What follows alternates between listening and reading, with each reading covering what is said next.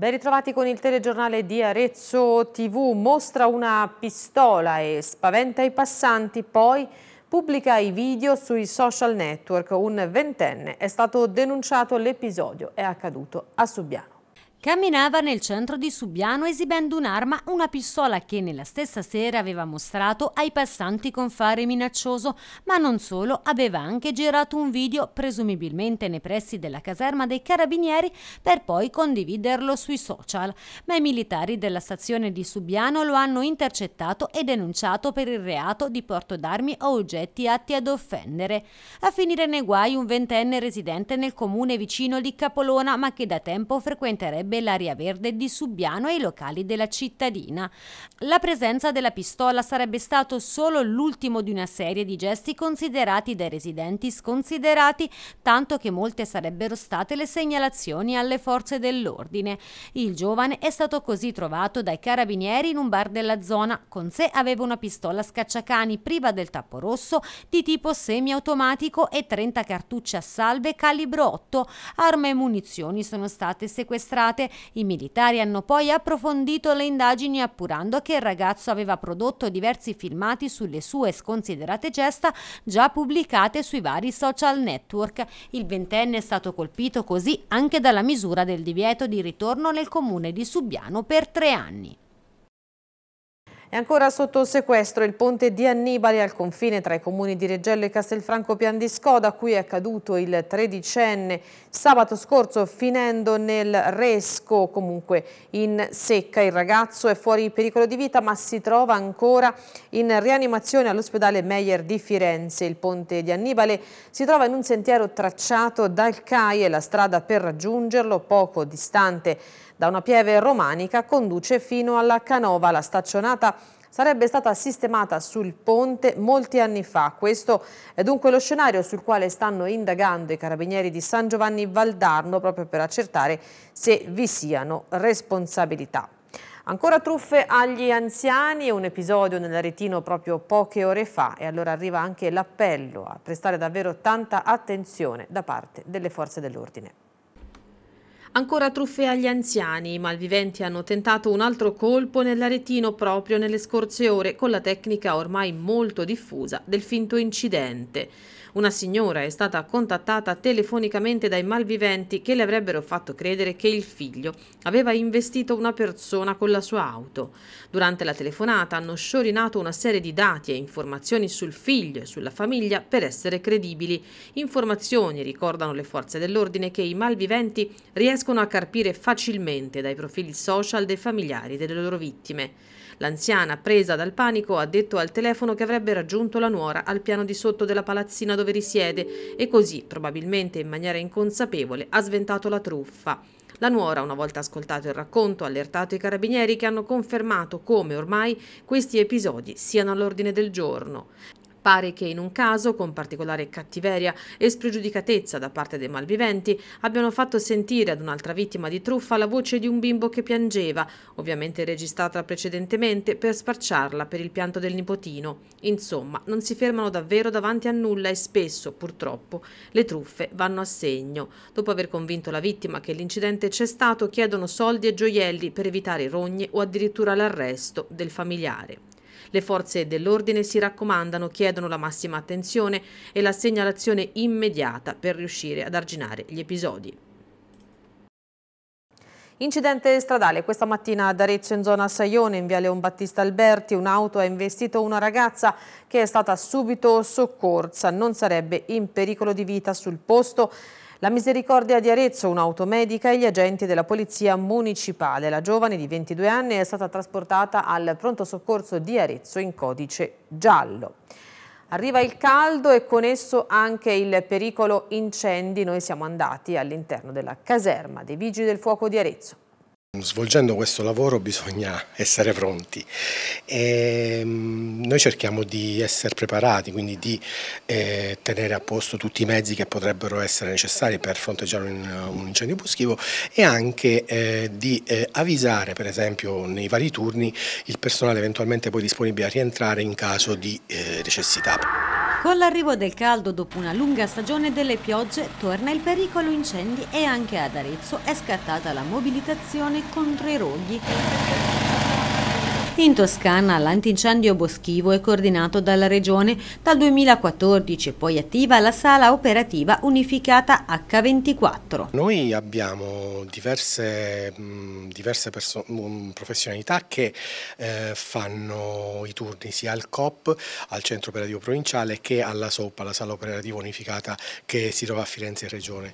In pratica mh, queste due sale operative coordinano ehm, i soccorsi, coordinano tutti tutti i vari che eh, vengono a partecipare in caso di un incendio boschivo eh, a livello provinciale e regionale. Oltre a questo noi abbiamo il nostro dispositivo di soccorso ordinario che all'occorrenza, come prevede il nostro regolamento di servizio, può essere integrato anche con personale libero dal servizio. Nei primi mesi del 2022, anche a causa di una straordinaria siccità, nell'intera regione erano scoppiati 591 incendi che avevano mandato in fumo 2247 ettari di bosco, più del doppio rispetto rispetto alla media degli ultimi sette anni, la provincia di Arezzo comunque la meno colpita. Però Arezzo è uno di quei comandi che eh, a livello interventistico uh, fa, fa, molti interventi ogni anno, supera, supera i 6.000 interventi. Quindi... Per far fronte al rischio incendi boschivi in tutta la regione, dal 1 luglio è scattato il divieto assoluto di abbruciamento dei residui vegetali, agricoli e forestali, che resterà in vigore sino al prossimo 31 agosto. La direttiva va insomma, a definire degli atti di prevenzione eh, degli incendi, sia evitando di appiccare fiamme libere, sia invitando anche la popolazione con le ordinanze che vengono fatte da tutti i sindaci a mantenere eh, puliti i terreni che sono suscettibili di incendiarsi appunto eh, per, per innesco. Per segnalare invece eventuali focolai i cittadini potranno chiamare il numero unico di emergenza 112.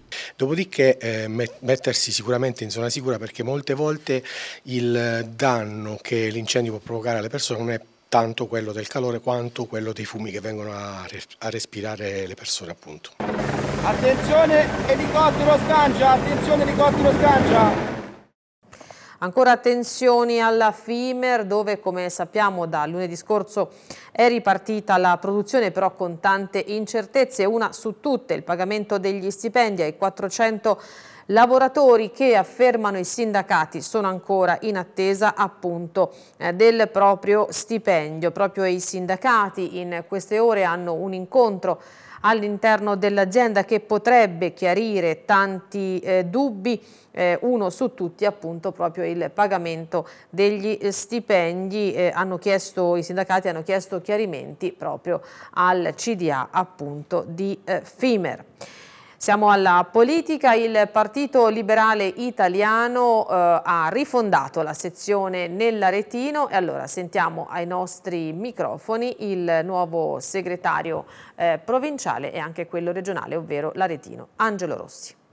Ma sono molto felice perché diciamo, come segretario regionale ho messo tutte le, le bandierine del PLI più o meno quasi tutta la Toscana, mancava Arezzo e sono il segretario regionale e mi mancava proprio casa mia, quindi devo ringraziare questi ragazzi, tra virgolette, che hanno deciso di rifondare ad Arezzo un qualcosa che era assente ormai dagli anni 90. Il Partito Liberale Italiano ha annunciato recentemente la formazione della sua sezione provinciale ad Arezzo, che mancava nel panorama politico aretino dal 1993. Il nuovo segretario provinciale è il medico cardiologo Roberto Perticucci, l'imprenditore Emiliano Taranghelli invece sarà il presidente provinciale. L'era diciamo post berlusconiana ovviamente è un primo punto di partenza, questo termine liberale insomma già ci porta ovviamente su determinati temi sui quali immagino vi vorrete impegnare.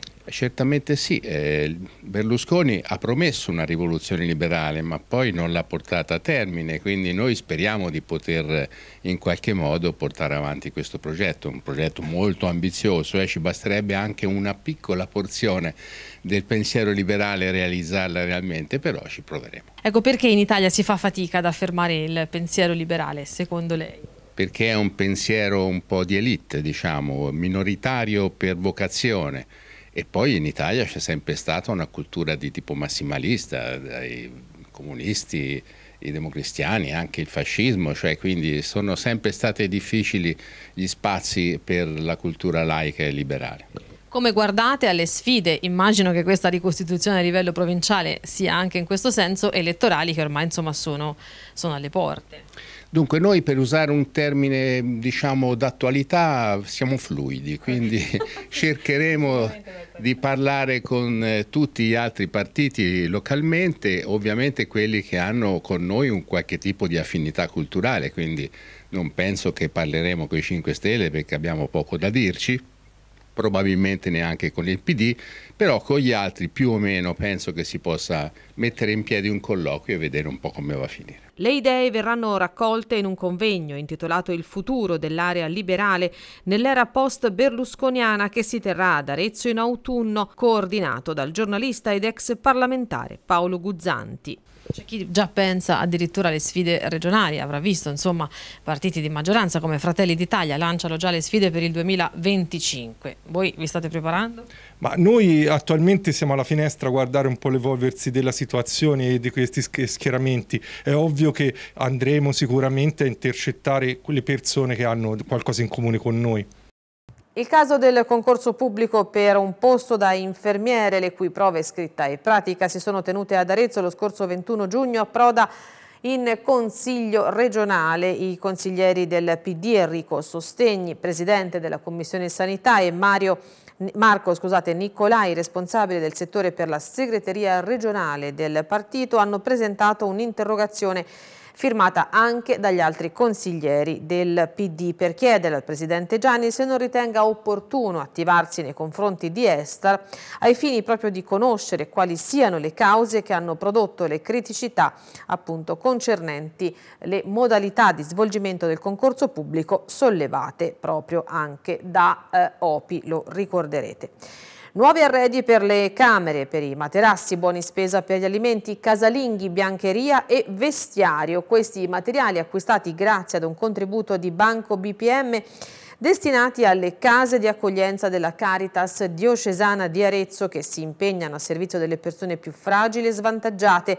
Il contributo che abbiamo ricevuto, dice il Vescovo Andrea Migliavacca, ha permesso di sostenere alcune azioni di un progetto più ampio rivolto proprio alle persone che vivono ai margini, un fenomeno non relegato ai grandi centri metropolitani ma in crescita anche nel nostro territorio e che spesso nasconde storie di grande sofferenza. E adesso ci spostiamo invece a Cavriglia, ieri abbiamo già realizzato un primo servizio proprio sul eh, ricordo delle vittime dell'eccidio, ma le manifestazioni ufficiali poi si sono svolte nel tardo pomeriggio. Il servizio.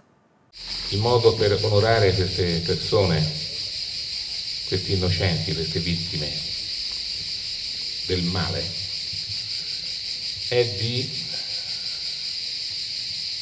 fare la giustizia. Mi ha, mi ha colpito nella preghiera che abbiamo, con cui abbiamo iniziato, fa che non ricadiamo nelle tenebre dell'errore, ma restiamo nello splendore della verità.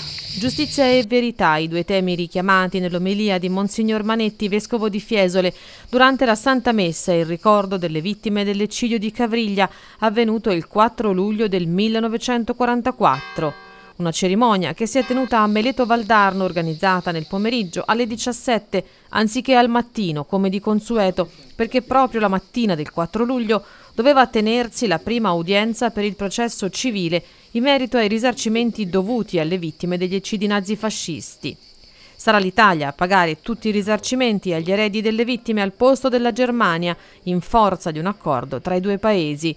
Il fondo, istituito dal governo Draghi e confermato pochi giorni fa con un decreto del Ministero dell'Economia, ammonta a circa 61 milioni di euro fino al 2026. I rastrellamenti nel comune di Cavriglia da parte dei nazifascisti avvennero a Castelnuovo dei Sabbioni, Meleto Valdarno, San Martino, Massa Sabbioni e Le Matole, 192 le persone uccise. Noi cerchiamo di essere vicini naturalmente non solo alla memoria di coloro che persero la vita in quei terribili giorni del 1944 ma anche ai loro familiari.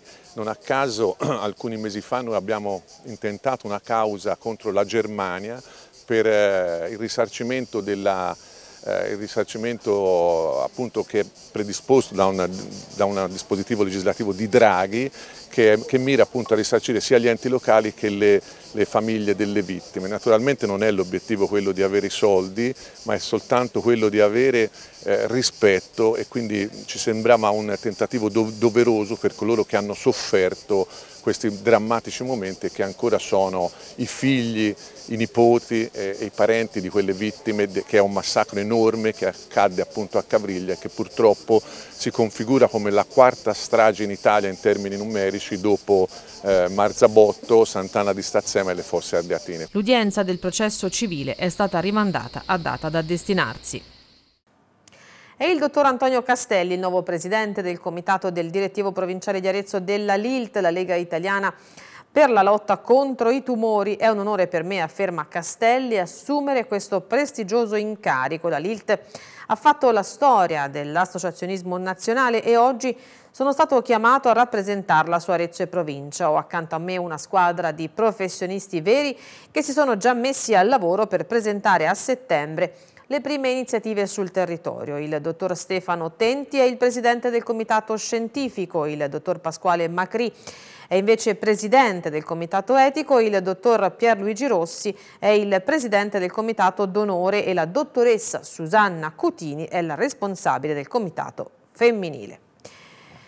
Tutto pronto per la festa provinciale delle ACLI, quattro giornate con eh, relatori di spessore nazionale su tematiche di attualità, dalla famiglia al lavoro alla pace. Ad Arezzo sabato arriveranno Giuseppe Conte, ex Presidente del Consiglio, Rosi Bindi, ex Ministro della Sanità ed Emiliano Manfredonia, protagonisti del dialogo dei Presidenti.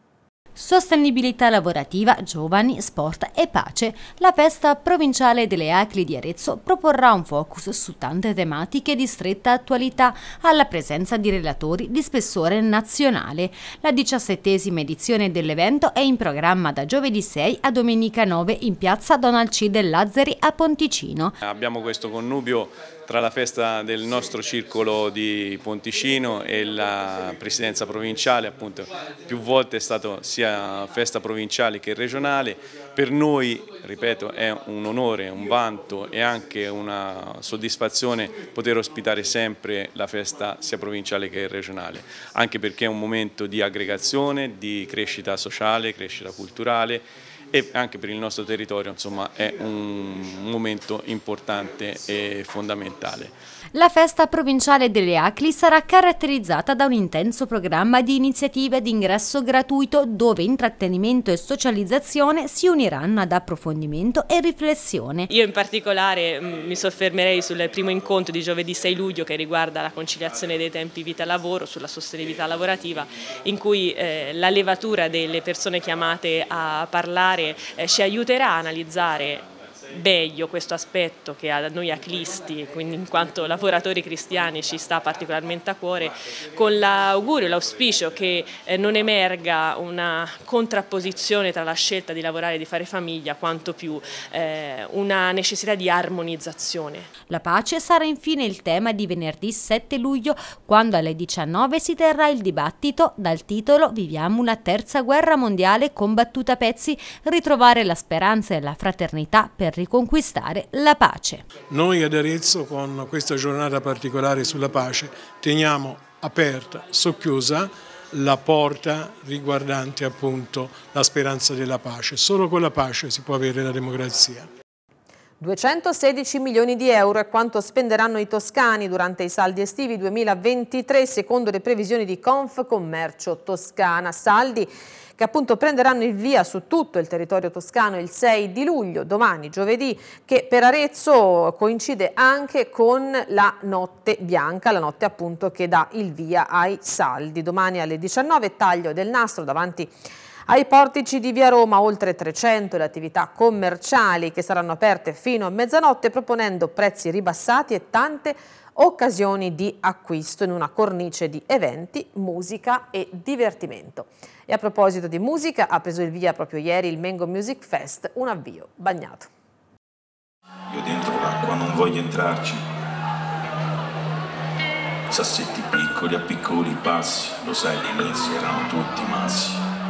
Partenza bagnata ma comunque fortunata per il Festival dell'estate aretina, il Mengo Music Fest che compierà nel 2024 20 anni. A passarsi il testimone sul grande palco del Prato, Riverso Villalba Claudio e la band di punta della serata, Love Gang 126, un collettivo romano con il loro primo progetto discografico Cristi e Diavoli uscito ad aprile, un racconto senza filtri di cosa significa vivere assieme immagini pacchetti di pacchetti di marciato e ti sento a per le strade come le frasche sulle tute accascetate come le scritte sopra il muro molto le guardie come le borse molto fatte regolarate Prima di loro sul palco Claudio, il cantautore romano Claudio Rossetti, reduce della pubblicazione del suo ultimo disco Guerra Fredda, un'intensa e profonda raccolta di pensieri e riflessioni, un diario intimo dal sapore agrodolce scritto a cuore aperto. Sciacquati la bocca prima di parlare di me.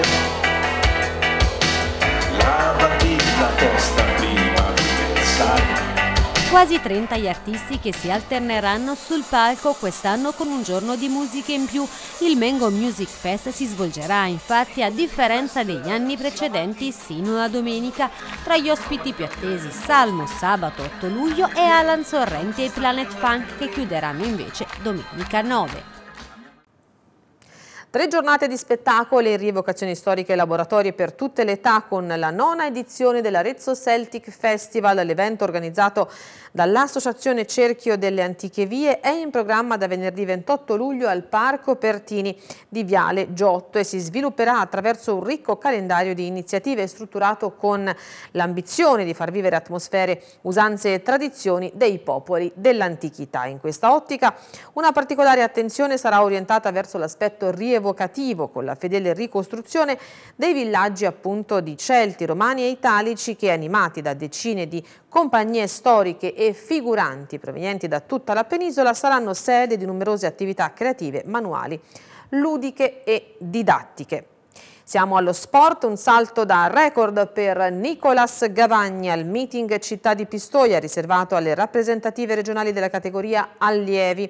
L'atleta dell'Alga Atletica Arezzo ha indossato la maglia della Toscana e nel salto in lungo ha registrato l'ottima prestazione di 7.45 metri che appunto gli è valsa la medaglia d'oro. Questo risultato configura un ulteriore passo in avanti rispetto ai 7,40 metri che eh, Gavagna aveva conquistato conquistato pochi giorni prima poi eh, conquistando anche la medaglia d'argento ai campionati italiani allievi aveva raggiunto appunto la misura minima per partecipare ai campionati europei under 20 siglando il nuovo record regionale.